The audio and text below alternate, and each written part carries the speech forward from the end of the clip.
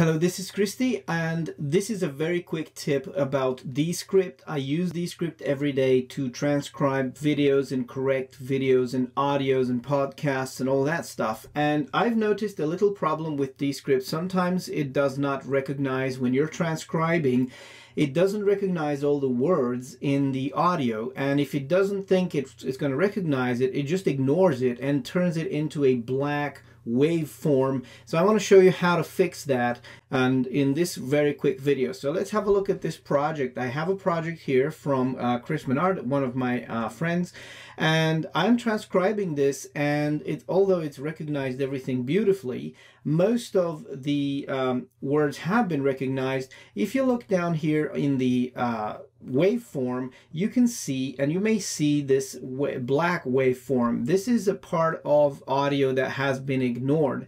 You can still hear it in the audio. It doesn't remove it, but it did not transcribe it. So if you watch this, I'm going to play just before that little point there. Just go a bit backwards and play this. Look.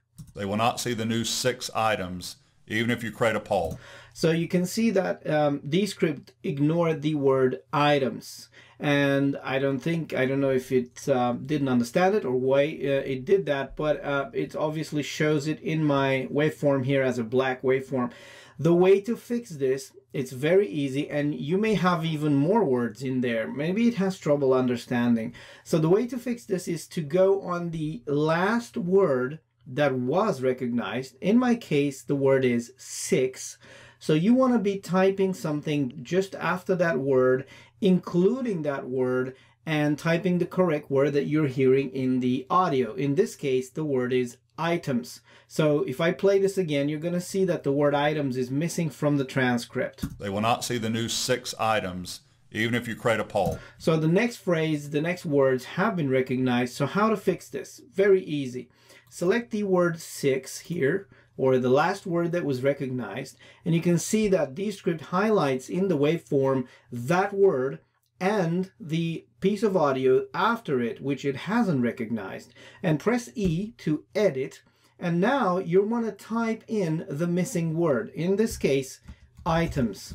So I'm typing the word items. I'm leaving six alone because it's in there in that portion of the selection. And now watch what happens. Watch the waveform down here as I press correct. In a couple of seconds, it's going to figure out the missing word and it's going to match that word with the missing waveform.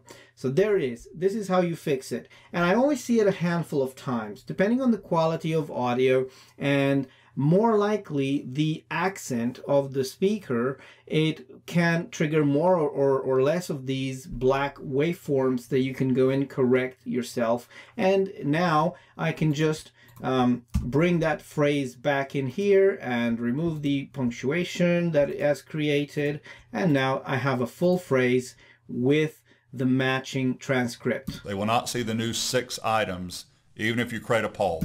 So that was great. So this is a quick tip for you in Descript. As I said, I love Descript. It's very nice, but sometimes it has some quirks by the time it learns, and I, I guess they develop the AI model for uh, transcription, some of these bugs will appear. So this is one way to fix that.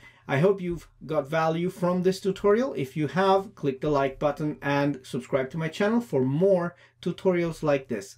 Feel free to leave a comment if you have any questions or things that you're struggling with in Descript, in Camtasia, any video editing software that you're struggling with. Um, I do a lot of videos for educational space and training, and I also do podcast editing and processing and transcription correction. So feel free to subscribe to my channel and I will see you on the next one.